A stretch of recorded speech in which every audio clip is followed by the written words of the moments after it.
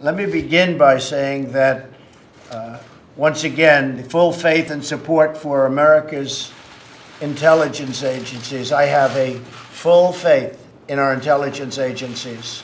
Whoops, they just turned off the light. That must be the intelligence agencies. There it goes. Okay.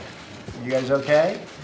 Good. That was strange, but that's okay. So I'll begin by stating